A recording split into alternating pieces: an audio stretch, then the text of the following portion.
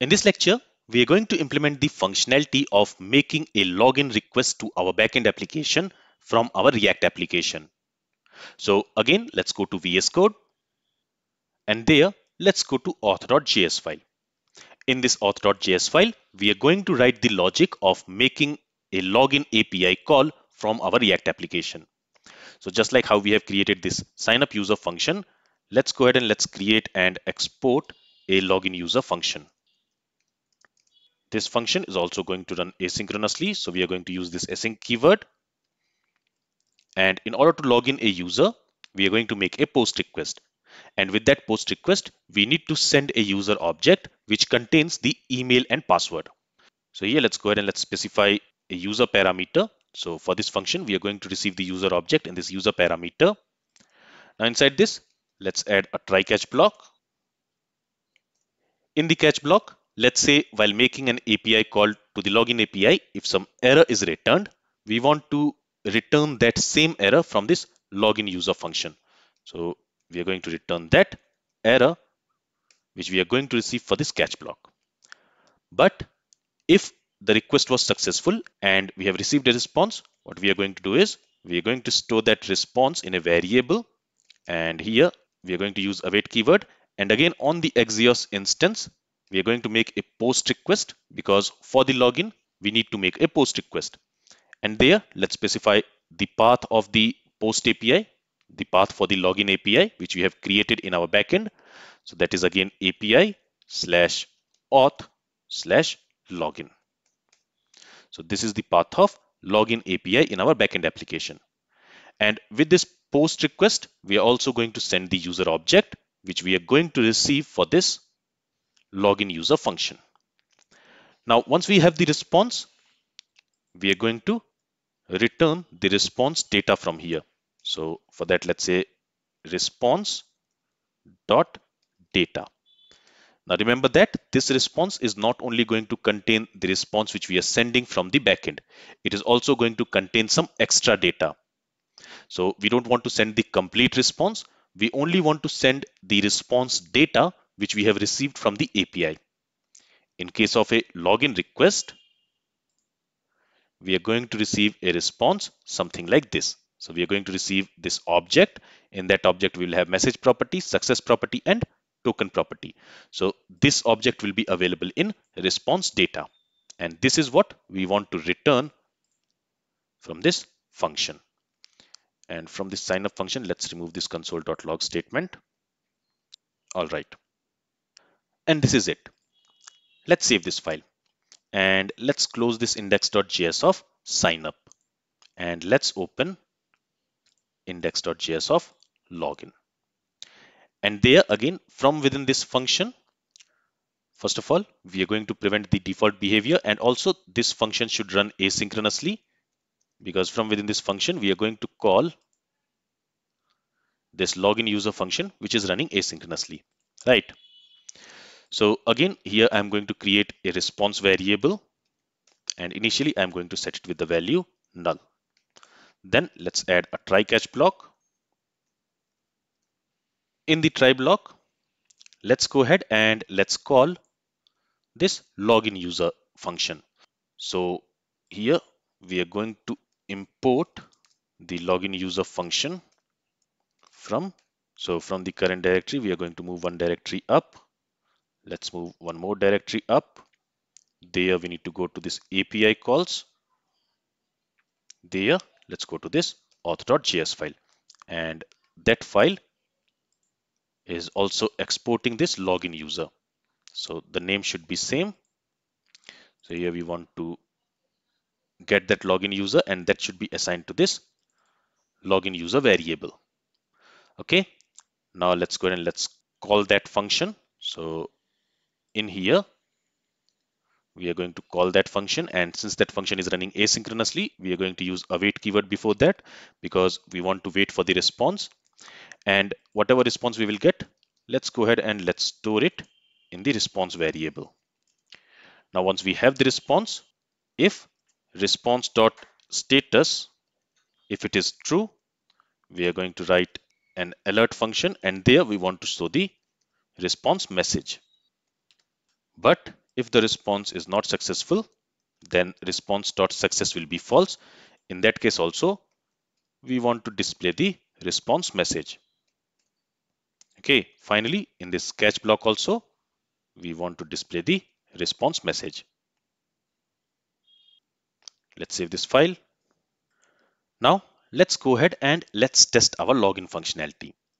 So let's go to the browser there. Let's go to the sign up page. Let me also open developer console. Let's go to network tab. Let's clear everything here. And here let's try to log in John Smith. So for John Smith the email is johnsmith at gmail.com and password is test1234 when I click on this login button it has sent a login request and in there we have received this message request failed with status code 400 now let's see why the request has failed. So let me open this request.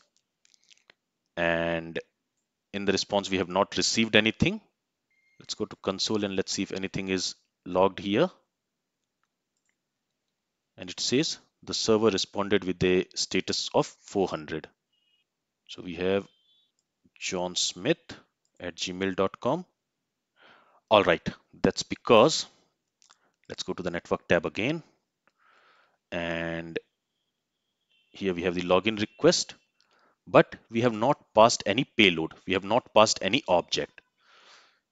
So here when we are calling this login user there we also need to pass the user object which will contain the email and password right? And that we are storing inside this user variable in the user state. So let's pass that let's save the changes. Let's go back to the browser. Let's clear everything here and let's make the request again. And now you can see the message user logged in successfully. And if I open this request you see in the response, we are receiving this message, we are receiving this success property, and we are also receiving the JSON web token in the response. And using this JSON web token, we are going to authenticate the user while making a request to the protected route. So in this way, we are receiving the response from the login API and our login API call from our React application is also working as expected. Now, what I also want to do is when the user is logged in, first I want to save this JSON web token in the browser's local storage. Okay, so if response is success, after showing the alert message, what we are going to do is we are going to save the JSON web token in the local storage. So here on this local storage, I'm going to call set item. There, let's specify a name for the variable you can call it anything but I'm going to call it as token and for that token we want to store the JSON web token so for that we are going to get response dot data dot token and actually it is response dot token because the response which we are going to receive from this function from this login user function that is already response dot data So we are simply going to receive this object. From that object, we want to read the token and we want to assign it to this token in the local storage. So here we are saving the JSON web token in the local storage. Finally, what we also want is if the user is logged in successfully, that means if we have received a success response, from the login page, we want to redirect the user to the home page. And for that, we can say window.location.href. And for the home page, the path is slash. Right? Let's save the changes here. Let's go to the browser and let's make a login request again. So the user is logged in successfully. When I click on this OK button, it should redirect us to the home page, but it has not done that. And let's also check the local storage. So for that, let's go to application, local storage. There you will see this token is there and that JSON web token is saved in the local storage. So the JSON Web Token is being saved in the local storage, but for some reason, the redirection is not happening. All right, I can see that here also we have an error. So we have already created this response and then after that I was again creating that response in the try block. So I have removed that const keyword. Let's save the changes now. Let's try it now. So if I click on this login, we have this message user logged in successfully. Token is also saved here, but still we are not getting redirected to the home page, to the root URL. Anyway, our sign up functionality is working as expected. Now in the next lecture, we will try to fix this issue of not navigating to the home page. But for now, this is what I wanted to implement in this lecture. So in this lecture, from our React application, we are making an API call to the login API, which we created in our backend application. And when we are making a login request, in the response, we are receiving the authentication token, the JSON web token for that logged in user and we are saving it in the local storage of the browser with this name token. Now later we are going to read this token from the local storage and we will pass this token with other requests which we are going to make in order to access protected APIs in our backend application. This is all from this lecture. If you have any questions, then feel free to ask it. Thank you for listening and have a great day.